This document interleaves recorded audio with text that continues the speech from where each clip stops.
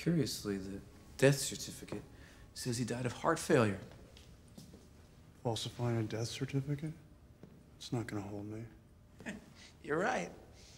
As usual, you are right. Have you seen today's paper? Huh?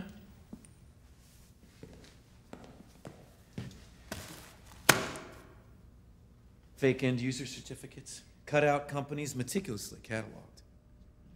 There is hardly a warlord, dictator, or despot anywhere in the world that you're not on a first name basis with. It was your wife, your trophy wife, that led us to the prize. It's not her fault. She's just easier to follow than you are. I? Yeah, go ahead.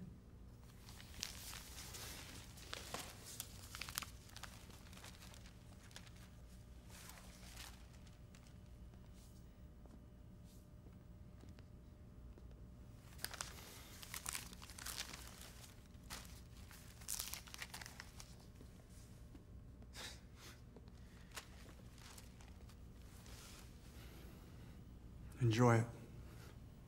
What? This. Tell me I'm everything you despise.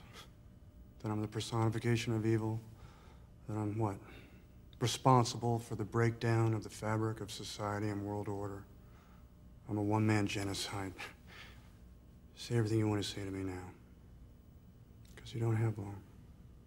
Are you paying attention? Or are you delusional? You have broken every arms embargo written. There is enough evidence here to put you away for consecutive life sentences. You are going to spend the next 10 years of your life going from a cell to a courtroom before you even start serving your time.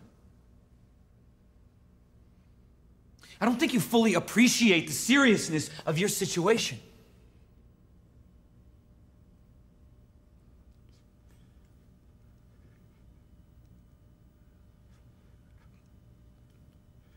My family has disowned me.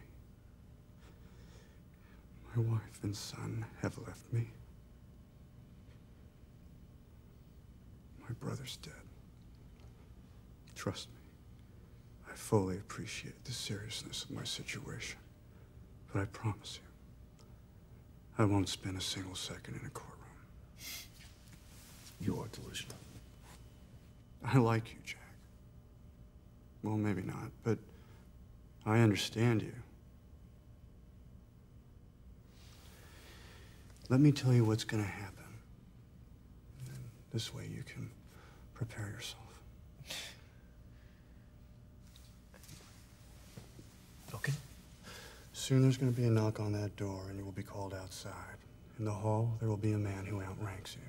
First, he'll compliment you on the fine job you've done, that you're making the world a safer place, that you're to receive a commendation and a promotion. And then he's going to tell you that I am to be released. You're going to protest. You'll probably threaten to resign. But in the end, I will be released. The reason I'll be released is the same reason you think I'll be convicted. I do rub shoulders with some of the most vile, sadistic men calling themselves leaders today.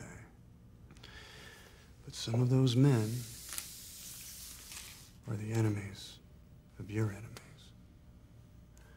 And while the biggest arms dealer in the world is your boss, the President of the United States, who ships more merchandise in a day than I do in a year, sometimes it's embarrassing to have his fingerprints on the guns. Sometimes he needs a freelancer like me to supply forces he can't be seen supplying. So, you call me evil, but unfortunately for you, I'm a necessary evil.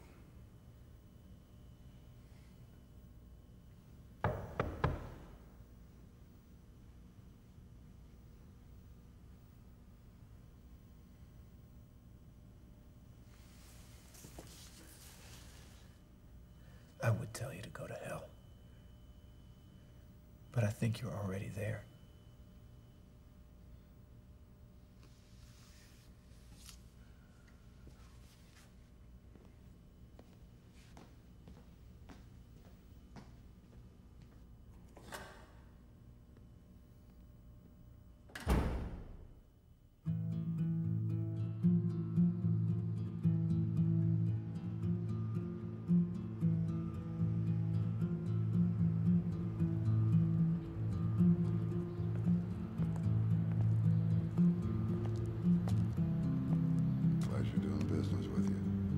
Most people are happy just to get out of jail.